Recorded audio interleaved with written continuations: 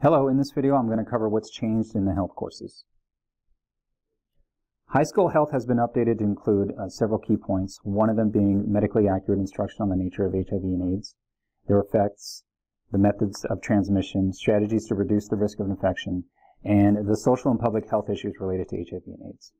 It's also going to include students learning about the effectiveness and safety of all FDA-approved contraceptive methods, and also, students will be given the knowledge and skills to form healthy relationships that are free from violence, coercion, and intimidation with a comprehensive study into affirmative consent.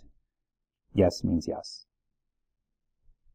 What can be found in the Unit 3 addendum in the high school health class is several activities pertaining to the California Healthy Youth Act and also a unit review that will uh, cover everything that they've learned.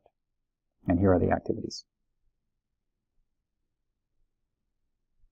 For the hands-only CPR component, you're going to find at the end of Unit 5 a hands-only CPR information sheet, instructions to access the hands-only CPR video tutorial, and then also a 10-question quiz that the students would fill out, instructions for students practicing hands-only CPR on a mannequin under facilitator evaluation, and then that facilitator will sign off their students' successful performance of hands-only CPR.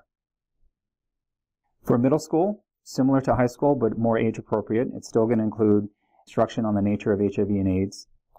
It's also going to have information for students to be given medically accurate knowledge and skills to protect their sexual and reproductive health, sexually transmitted infections.